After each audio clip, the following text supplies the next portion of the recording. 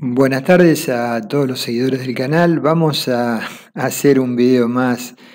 Quizás este se extienda algo más de 15 minutos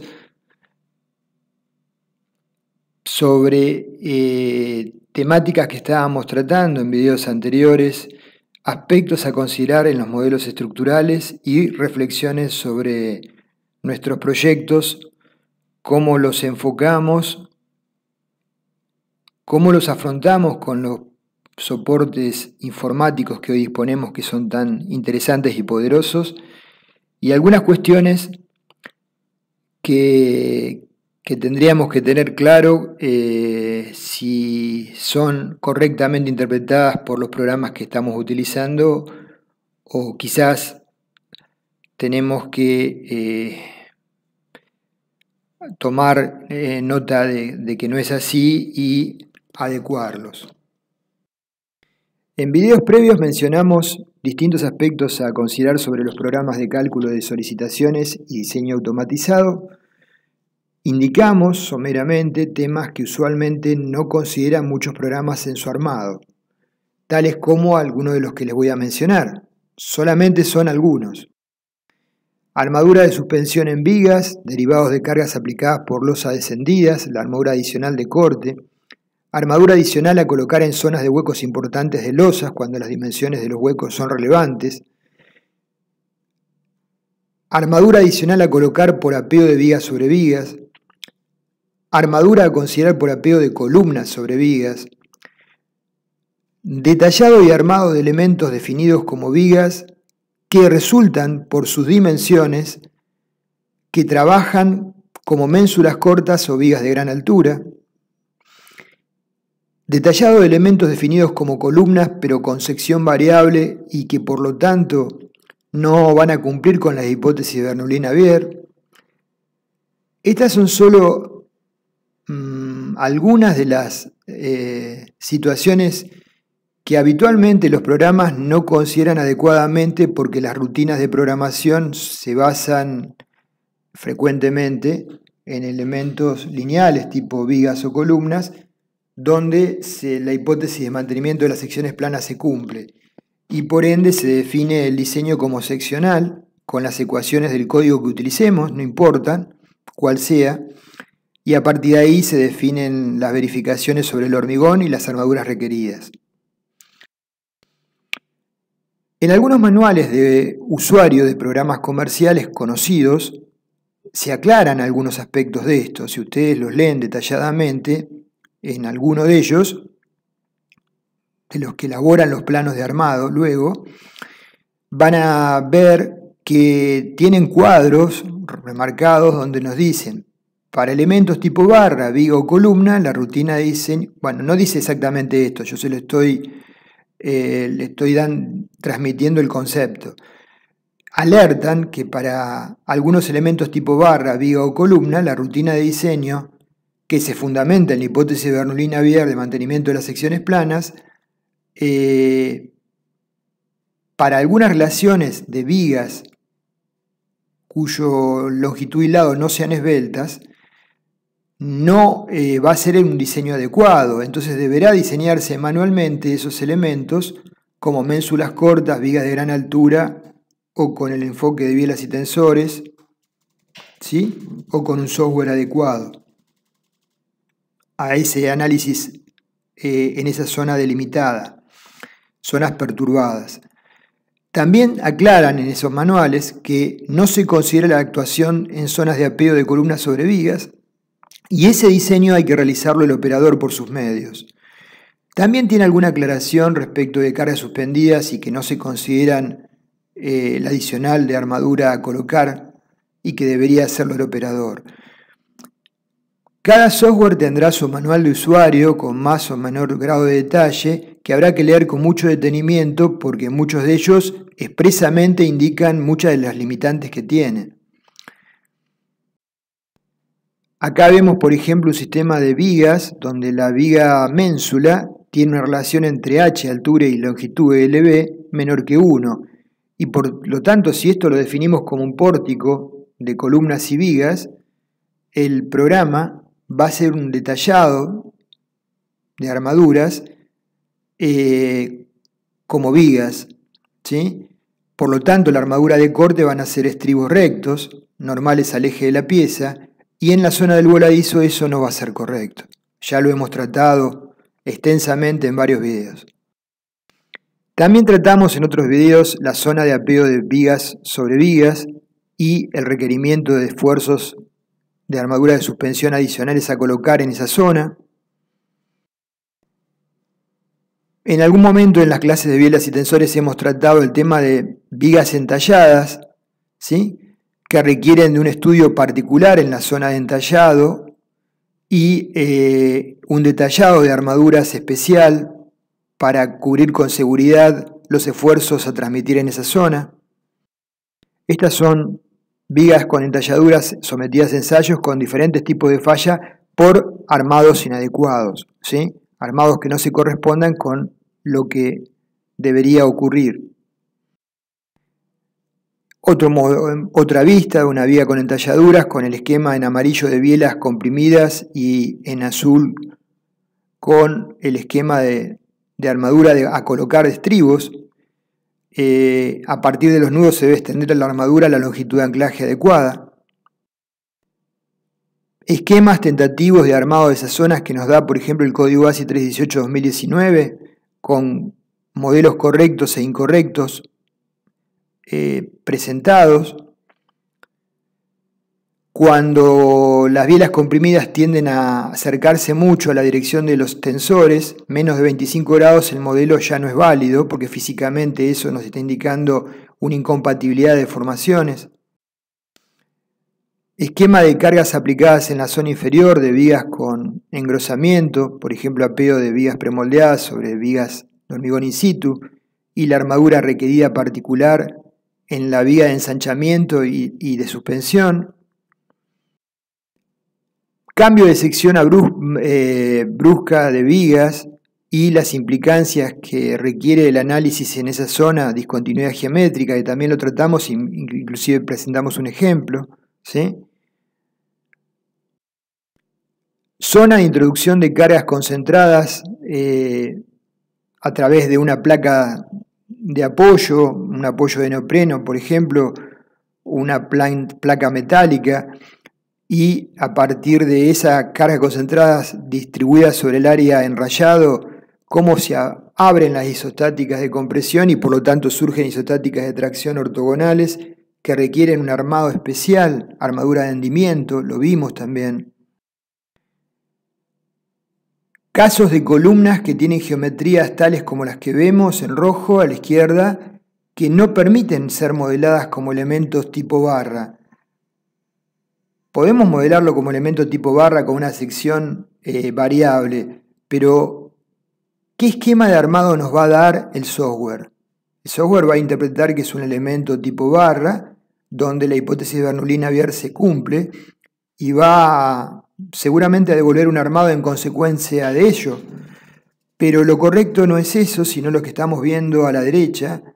En la zona rayada no se cumple la hipótesis de Bernoulli-Navier y por lo tanto un esquema de armado es el de la derecha sería un esquema de armado adecuado. Zonas de, cambio de dirección importante entre dos elementos solicitados a a flexión, en donde surgen tendencias a la apertura de las armaduras, ¿sí? y hay que colocar estribos en la zona de cambio de dirección adicionales, producto de este cambio de la dirección al flujo de fuerzas. ¿sí? Apeos de vigas de gran altura sobre otras vigas de gran altura, donde se requiere de una armadura particular, que aquí sí se pueden combinar estribos con armadura de barras dobladas, ¿sí? Como vimos, hay una cantidad relevante de situaciones en las cuales la armadura que arroja el software con las rutinas de diseño puede no ser adecuada en función de que lo modela, si el software modela solo elementos en los cuales eh, se cumpla la hipótesis de Bernoulli-Navier. Hay muchos más que no he mencionado, estos son solo algunos pocos. Otro aspecto de evaluar del software de diseño es ¿Cómo analiza bajo cargas de servicio las deformaciones en vigas y losas? Utiliza la inercia modificada de Bishop que propone el código ASI 318-2019 y que demuestra que, por ejemplo, Branson arribaba, daba valores para piezas con bajas cuantías por debajo del lado inseguro, ¿sí? menores a las reales. O sea, nos daba como resultado Branson inercias mayores a las que iba a presentar la viga o losa. Evalúa las flechas instantáneas más las flechas diferidas. ¿Qué valor de amplificación adopta para las flechas diferidas el programa que estamos utilizando? ¿Sí? Para luego analizar las flechas totales y ver si esas flechas totales, tanto totales como efectivas, son compatibles con la estructura que estamos diseñando.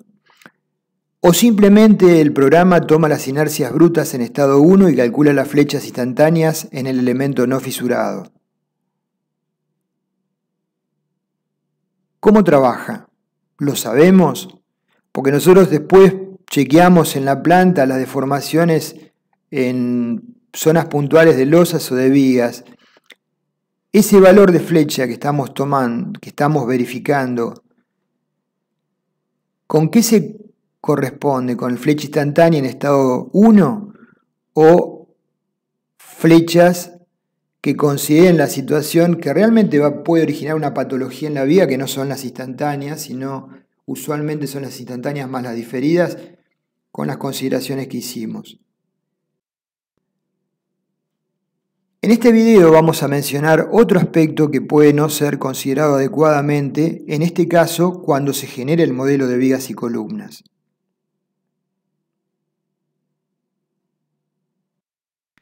Acá tenemos una estructura de edificio sencilla en donde las columnas, eh, marqué una columna en particular de zona de esquina, eh, frecuentemente la columna va perdiendo sección en altura y en las columnas sobre medianera o sobre línea municipal esa pérdida de sección no es respecto del eje en forma simétrica, sino es, se mantiene una cara a la cara exterior. ¿sí? Por lo tanto, se genera un cambio de eje en la columna en vertical. Lo vemos aquí también con otra columna. Variaciones de dimensiones de la altura de la columna en altura. Es absolutamente frecuente. el tema es cómo nuestro programa eh, toma esta variación de dimensiones ¿sí? Por ejemplo, otra situación que se presenta es en planta, cuando las vigas apoyan sobre columnas, no eh, en el eje de las mismas, sino a una cierta distancia del eje, como en la P2, en la P3, en la P1, ¿sí? situación que no se presenta en la P5 o en la P8, ¿sí? o en la P7. Entonces, ¿eso qué genera? Por defecto, cuando realizamos el modelo, levantamos el edificio, en la mayoría de los software generan los ejes de las columnas en elevación, aunque cambie la sección, todos alineados, y los ejes de las vigas coincidentes con los ejes de las columnas. Entonces, si tenemos este, esta que vemos es la planta de la visual anterior, acá no se manifiestan esas excentricidades, ¿sí? Entonces, tenemos que ver si nuestro programa nos permite luego hacer un desplazamiento de los ejes para que surjan en el modelo esas excentricidades. ¿Sí? Acá vemos un detalle de una columna P01 de esquina, donde hay dos vigas que concurren, BT01 y BT04. Los ejes de las vigas presentan excentricidades EI y EX, respecto del eje de la columna. Por lo tanto, en la situación real de la estructura, las vigas van a transmitir la cara con excentricidades, la BT01 E sub y la BT04 E sub y por ende le van a transmitir a la columna no solamente las reacciones de vigas, sino momentos relacionados con ambas excentricidades. Ahora, si en nuestro programa por defecto BT01 está ubicada a eje de la columna y BT04 a eje de la columna, e y E van a ser cero. Y esos momentos no van a aparecer en el modelo. ¿Se entiende?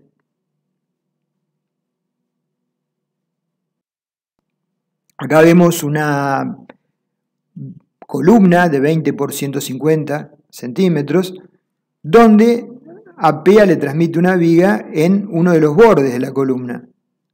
Acá se manifiesta aún más ese fenómeno de excentricidades. ¿Sí? La diferencia entre el eje de ubicación de la viga que transmite la carga al centro de la columna es de 65 centímetros, la excentricidad. Acá vemos una planta real de lo que fue en su momento el edificio Space, que mereció algunos videos para comentar eh, toda la cadena de, de, groserísimos errores que se cometieron. Pero eh, más allá de eso, eh, marqué la columna C1 y la viga B2. La columna C1 es de 20 por 150, por 150 como vimos en el dibujo anterior, y la columna B2 es de 20 por 50 que apoya en un borde de la columna. ¿sí? Entonces está generando una carga axial y un momento flector asociado con esa excentricidad respecto del baricentro de la columna C1 que está a 75 centímetros de la cara. Por supuesto que en este caso particular, este edificio, el colapso no se produjo por este fenómeno, sino por una cantidad gigantesca de, errores inaceptables para, para un profesional serio. Entonces conocemos cómo generar dichas excentricidades en el programa que utilizamos, las que hemos mencionado, tanto de vías como de columnas. Acá vemos en planta la columna, por ejemplo, de 20 por 150 con la reacción de la viga, a una distancia de 65 centímetros del eje de la columna. ¿Es factible generar esas excentricidades con el software de diseño? De no ser así, dichos momentos no van a aparecer en el diseño de las columnas respectivas. eso lo tenemos que tener claro. Recordar que es frecuente el uso de secciones de columnas alargadas con espesores reducidos y ello va a amplificar este tema y sus efectos. ¿sí? Cada vez es más frecuente encontrarnos con proyectos con columnas de dimensiones de, de anchos de 20 o menos de 20, de 15 a veces, con la restante dimensión importante, un metro, un metro veinte, o un metro cincuenta, entonces este fenómeno se amplifica en sus efectos. Acá vemos un esquema sencillo de, cargas aplicadas y de esquema de fisuración en una viga con tres columnas de apeo y una viga que transfiera dos columnas en la zona inferior. En resumen, como se puede ver en esta mirada rápida, hay múltiples situaciones y motivos que pueden generar dudas en cómo mi programa de diseño aborda el dimensionado y detallado de todos los elementos componentes de mi proyecto. Por ello, el criterio y análisis del proyectista es en definitiva quien permite tomar decisiones y ajustar o modificar cualquier aspecto que lo requiera. Por más poderoso que sea el software que estemos utilizando, prácticamente ninguno aborda todas estas situaciones. Como reflexión final, ninguno que conozca, como reflexión final, nunca calcules lo que no sabes cómo trabaja, decía un, gran ingeniero. Yo diría eh, que nunca calcules si no entendemos claramente cómo es el, mecanismo de transferencia de cargas, cómo se deforma la estructura, cuál es el camino de las cargas hasta llegar a la fundación y por ende, a partir de ahí, cómo podemos tratar su diseño y armado. ¿sí? En las zonas donde se comporte como vigas esbeltas o columnas donde la hipótesis de Bernoulli-Navier sea correcta, seguramente el tratamiento por las rutinas de programación que habitualmente tienen los software será la adecuada. Y en las zonas donde eso no ocurra, tendremos que recurrir a otros enfoques como los hemos eh, analizado en una cadena de, videos eh, bastante importante que hemos desarrollado en cantidad. Bueno, eh, es una reflexión final para los usuarios de, programas, que hoy en día es el 99% de los colegas. Muchos, para la mayoría de ustedes debe ser todos aspectos conocidos, ¿sí? Para aquellos más jóvenes o usuarios más recientes, simplemente tengan en cuenta estas cuestiones y reflexiones sobre otras que no, no, puedo incorporar acá por una cuestión de tiempo, porque en definitiva el verdadero y único responsable del proyecto eh, que a través del plano y especificaciones técnicas se lleva a obra y sobre la base de la cual se desarrolla el proyecto y la obra, la construcción misma, somos nosotros. ¿sí? Entonces, eh, cualquier barra que esté colocada eh, o cualquier elemento que esté diseñado, tenemos que tener clarísimo en nuestra cabeza por qué está diseñado de esa forma y no de otra. Y si hay un cambio que nos propone el director de obra por una cuestión que suele ocurrir, eh, cuestiones durante la ejecución de la misma, tener idea de si ese cambio es factible y qué implicancias tiene sobre nuestro proyecto. Bueno, no los quiero cansar, ya me excedí los 20 minutos. Eh, espero estén muy bien en este fin de largo en mi país y para todos los amigos de los países eh, latinos que, que ven este, este canal. Un abrazo a todos. Nos vemos.